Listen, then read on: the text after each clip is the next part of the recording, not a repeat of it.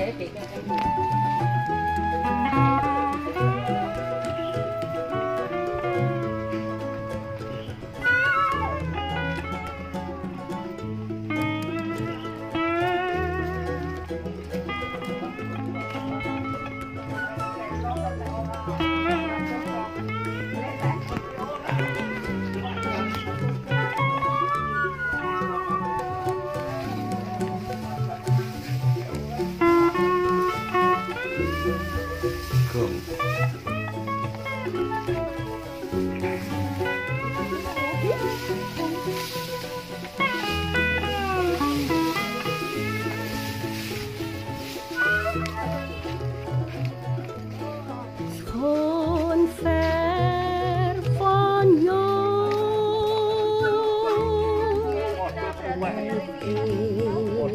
Englisch on your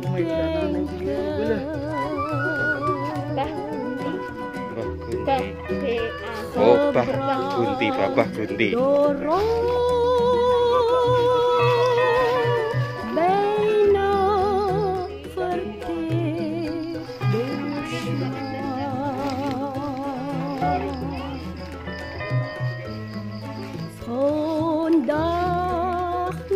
No.